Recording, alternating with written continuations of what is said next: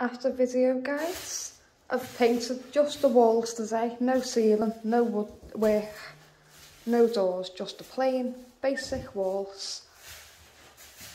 And I am in love.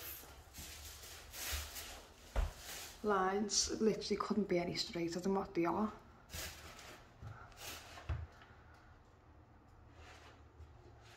And just to let customers know, this is what I'm be doing, explaining exactly what job I've done, how I've done it.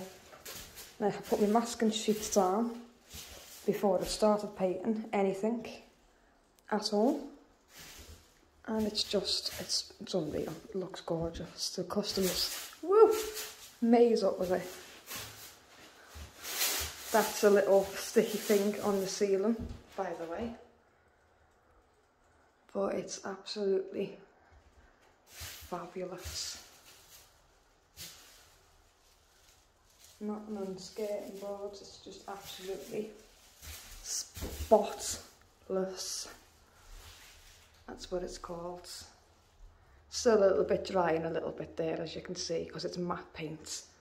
So it's not, it's not shiny, it's just a little bit wet. But love it. No paint on the floor because I've used the sheets. I show the floor clearly. Nothing at all. That was already there. The customer was already aware of that anyway. I've used grey paint, not blue. Just for anyone that feels like pointing things out.